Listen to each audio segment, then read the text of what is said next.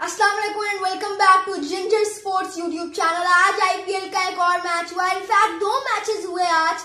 हम दूसरे मैच पर डिस्कशन करेंगे जो खेला गया था चेन्नई सुपर किंग्स और किंग्स इलेवन पंजाब के दरमियान KXIP versus CSK I'm gonna tell you in this video briefs का स्कोर बोर्ड क्रंच मोमेंट्स क्या थी इस मैच की प्लेयर्स जो इस मैच से निकले शेन वॉटसन और केएल राहुल खास तौर पे और हम ये भी बात करेंगे कि अब अगली टूर्नामेंट के फ्यूचर में इन दोनों टीम्स का कितना चांस है और एक इंपॉर्टेंट चीज़ मैंने आपको वीडियो में बतानी है तो stay tune for that as well and तक ज़रूर देखिएगा वीडियो को and it will be my pleasure if you watch the video till the end तो चलिए शुरू करते हैं फ्रॉम द ब्रीफ एनालिसिस बात की जाए तो पहले बैटिंग करने आए के राहुल और मयानक अग्रवाल किंग्स इलेवन पंजाब की तरफ़ से। अच्छा स्टार्ट दिया दोनों ने और के राहुल ने स्पेशली अच्छी 70 प्लस की इनिंग्स खेली अपनी इनिंग्स को लेके गए। सेटल होने का टाइम में उसके बाद शॉट्स भी मारी और एंड में फिनिशिंग भी अच्छी हो गई किंग्स इलेवन पंजाब के परस्पेक्टिव से। और लग रहा था दुबई की विकेट को अपने दिमाग में रखते हुए कि किंग्स इलेवन पंजाब, ये मैच आराम से जीत जाएगा।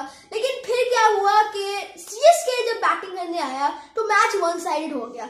वॉटसन और फैफ डुप्लेसी ने जैसी इनिंग्स खेली आज, और जैसे वो फॉर्म में वापस आए हैं तो आई डोंट आई मुझे लगता है कि सीएसके के पास भी उतना ही चांस है क्वालिफाई करने का, जितना दूसरी टीमों के पास इस टूर्नामेंट की नेक्स्ट स्टेज में क्वालिफाई करने का है। CSK Faf du Plessis and Shane Watson batted beautifully well around 80 80 runs each के खेली और अपनी इनिंग्स को आराम से लेके चले दे took the time to set, to get settled on the pitch.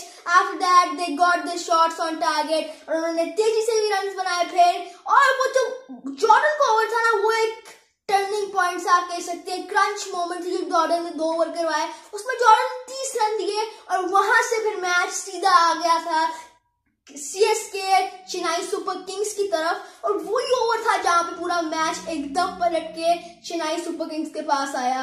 और जस्ट ब्यूटीफुल टू वॉच था वो जब उस क्रिस जॉर्डन और एक्स भी फैंस के लिए तो नहीं था बट सीएसके के फैंस के लिए बहुत अच्छा था वो ओवर जैसे शॉट्स मारी और दैट वाज जस्ट फैंटास्टिक उसके बाद जरा ब्रीफ स्कोर बोर्ड में भी मैंने बता दिया तो अब थोड़ी सी बात करते हैं कि अब दोनों टीम्स की टूर्नामेंट में फ्यूचर क्या है।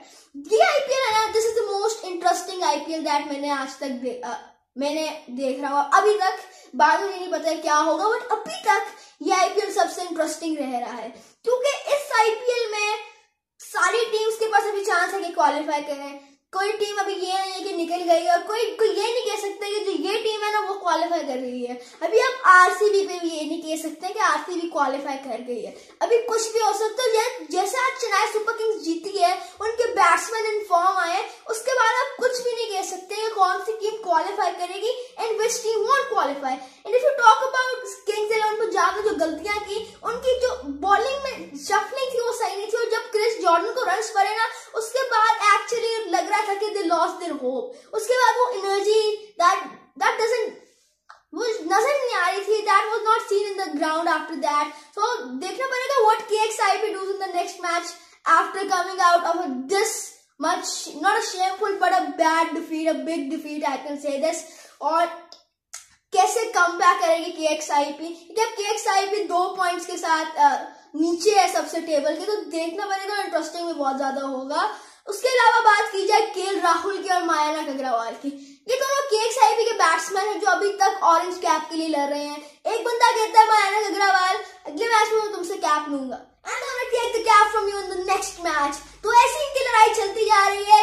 इस लड़ाई के चक्कर में टीम ना तो बोलते हैं आप रन बनाए, लेकिन आपने अपना भी देखना और टीम का भी देखना। तो let's see what happens in the future I am not saying that KL Rahul plays selfishly. Don't, don't take the opposite meaning of that. Sorry for that if you think. But KL Rahul plays beautifully well. उन्होंने जो batting की ना आज that was just fantastic. और ये दोनों के अलावा कोई परफॉर्म नहीं करके दे रहा है केक्स को स्पेशली और मयानक अग्रवाल इनके अलावा that's not happening for them good तो अब देखते हैं अगले मैच में क्या सॉल्व करते हो चेन्नई सुपर किंग्स आज चेन्नई सुपर किंग्स की bowling if I talk about the bowling that was a bit down about their batting, but how they batted, though batsmen को chance मिला Fab du Plessis and Shane Watson, they are right back in their form. और अब अगर ये form में रहते हैं tournament के एंड तक क्योंकि उन्होंने मिडिल में आके फॉर्म पकड़ी है और ये एंड तक फॉर्म को अपनी कंटिन्यू कर सकते हैं so that's gonna be very very interesting for the Chennai Super Kings team और it will be very interesting watching this IPL as well